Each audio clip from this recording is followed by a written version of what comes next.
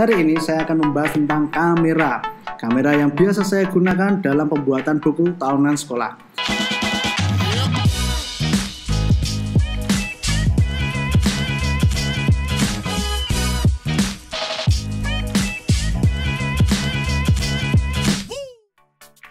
Teman-teman sudah bisa lihat di sini ada beberapa kamera yang saya gunakan.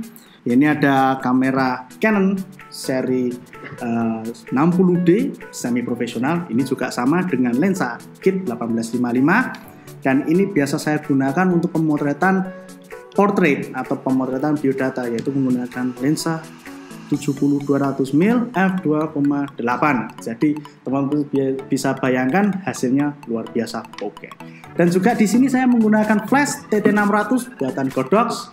Jadi nanti uh, saya bisa mengontrol lighting saya bisa mengkreasikan lighting sesuai dengan kebutuhan saya.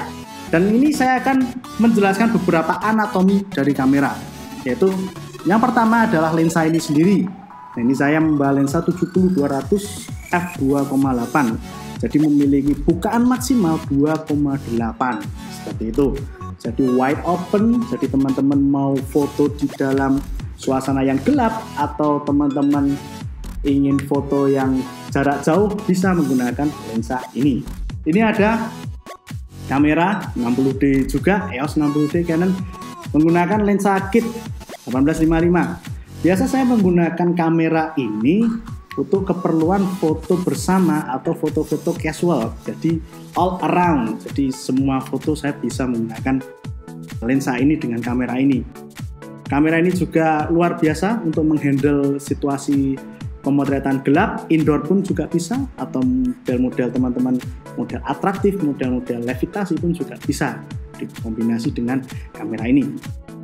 Lalu saya akan menjelaskan beberapa tombol-tombol yang ada di dalamnya ini, yaitu ada main dial di sini. Teman-teman bisa uh, memilih settingan apa saja yang ada di kamera.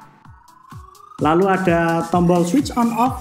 Tentu saja teman-teman tidak uh, ini ya mau waktu teman-teman mau moto nih ternyata kamera masih off seperti itu. Banyak sekali tombol-tombolnya ada tombol record, ada IF on, Nanti akan saya bahas lebih dalam tentang tombol ini.